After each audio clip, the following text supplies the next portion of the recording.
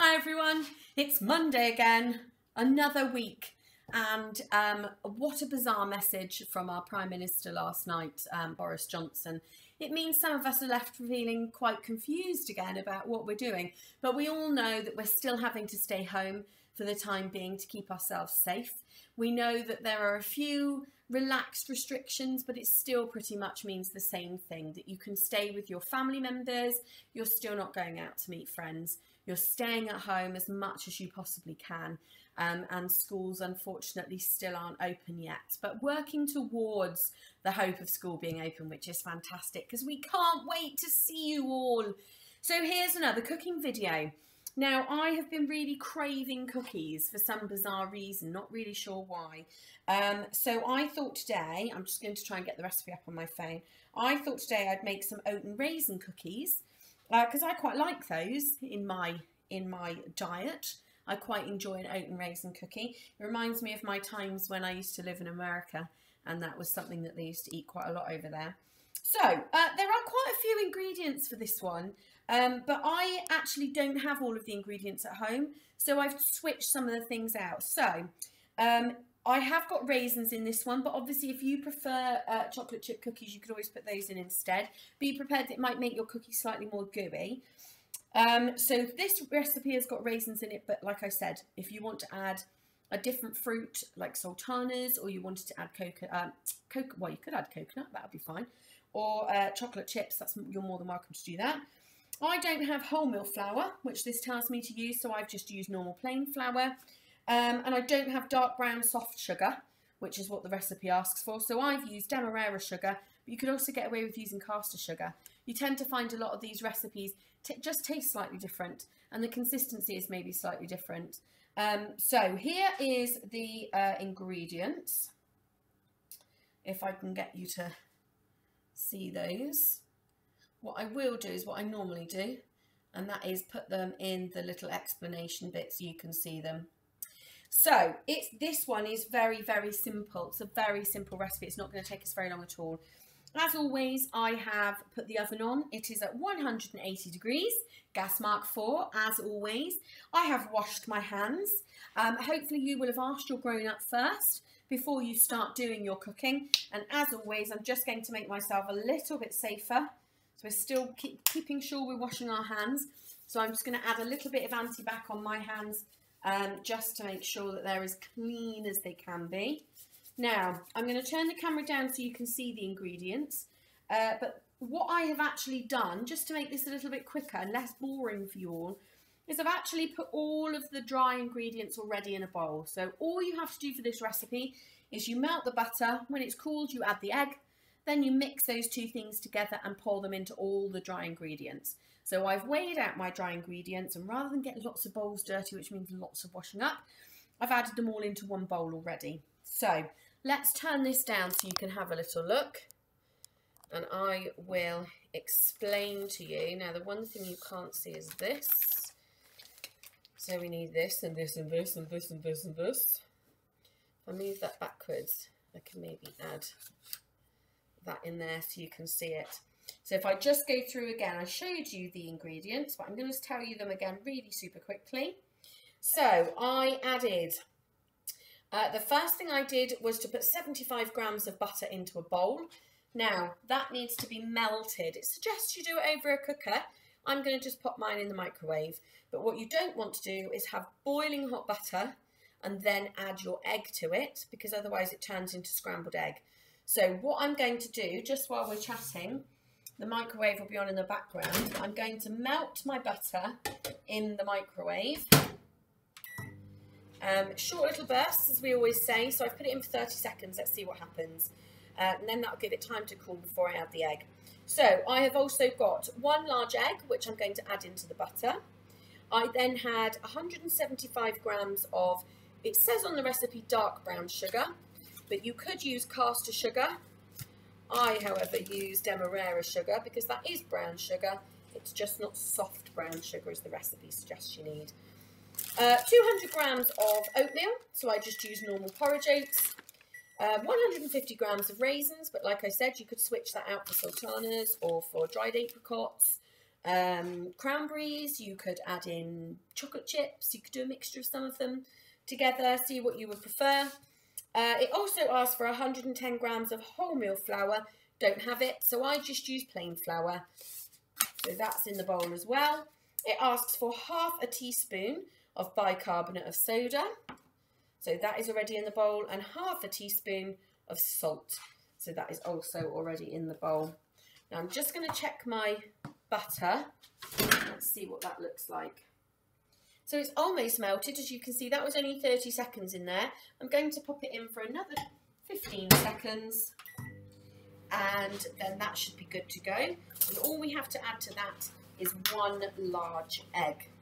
Now in my bowl, as you can see, that's all the dry ingredients. So everything I've just read out to you, apart from the butter and apart from the egg, everything else is in that bowl.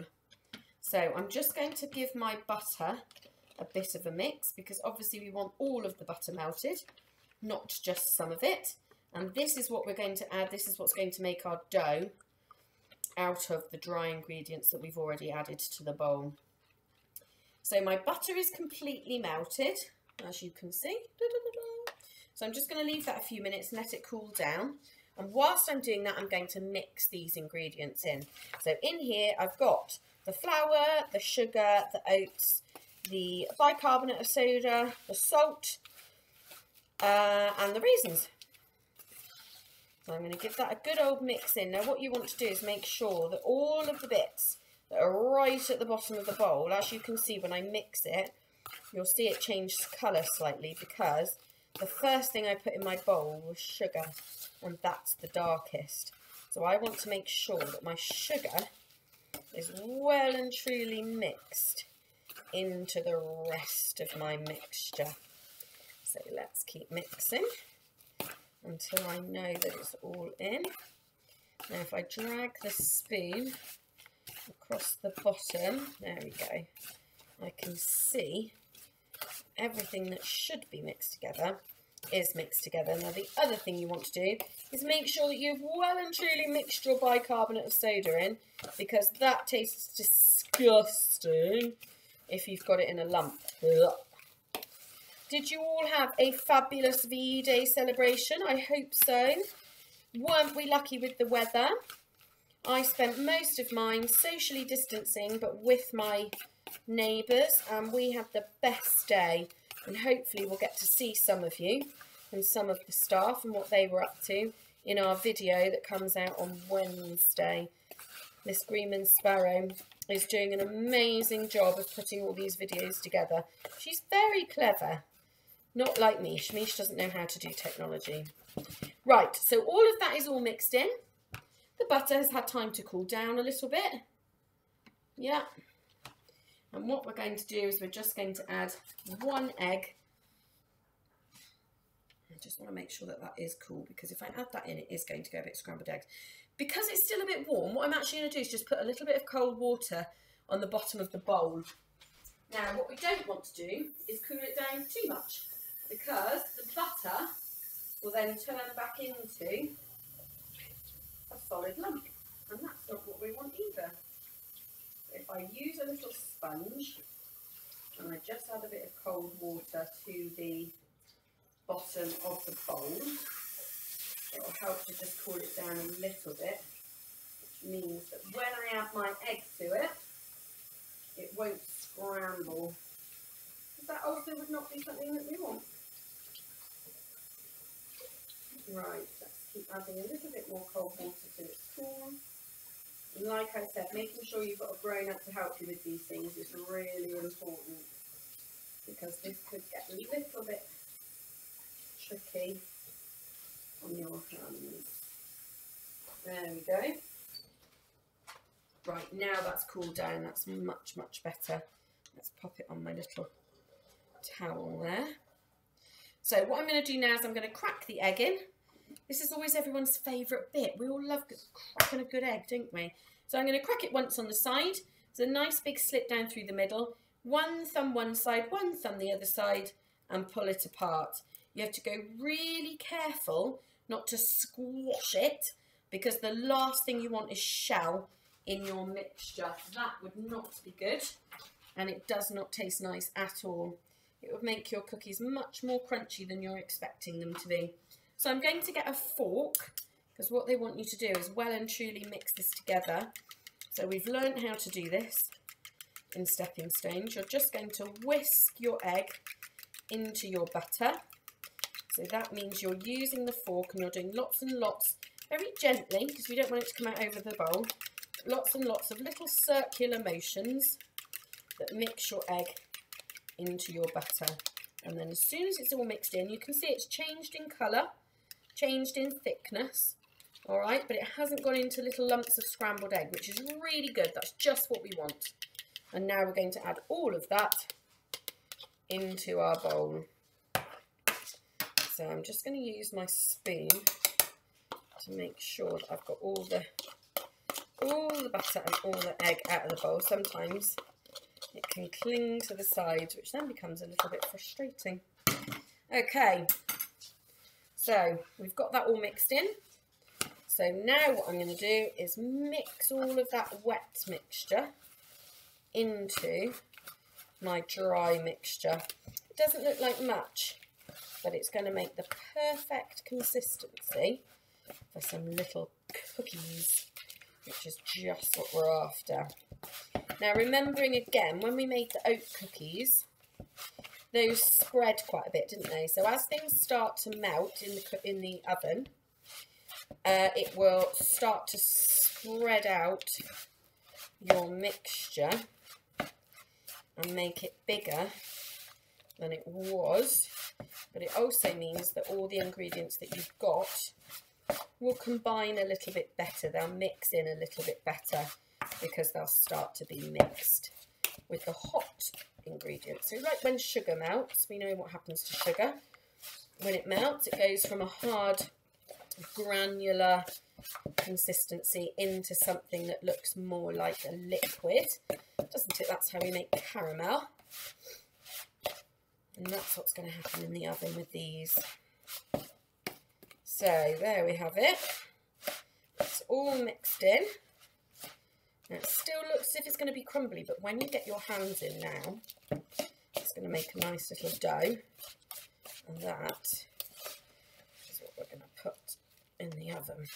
What I'm trying to do is make sure that everything that's on the bottom of the bowl is mixed in. Okay. So what I've done, as always, got myself a little baking tray. I've put some tin foil on the top and I've sprayed it with some oil to stop the cookies from sticking. So what it says to do in our recipe, we know we always follow a recipe, it makes life much easier, doesn't it?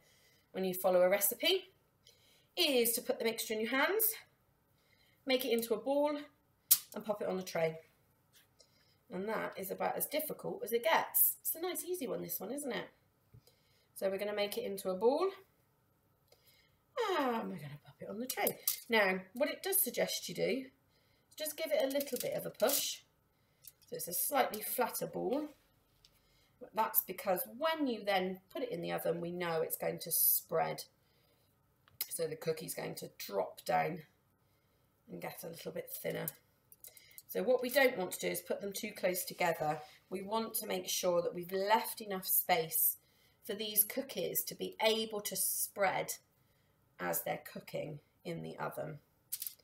So I'm just going to do enough that fit on my tray without being close. It's like socially distanced cookies, isn't it? They're abiding to the government's rules keeping themselves safe. Let's give that a squash down. Right, there we go.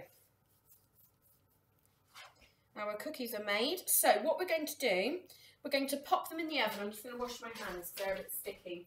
We're going to pop them in the oven and they're going to go in the oven for between 16 to 18 minutes and that's until they're a nice golden brown colour. So we like them to be a nice golden brown, don't we? We know that they're cooked then. So that's it. There we go. And as always, I will come back to you when the beeper starts making that really strange sound on the cooker. See you in a minute. There it goes. Let's have a look, see what they look like. Uh, so as always, I've got something to keep my hands protected from the heat and make sure you ask a grown up to help you with this bit because it's a hot oven. Right, so let's see what happens. Turn off that frustrating sound. Whoa.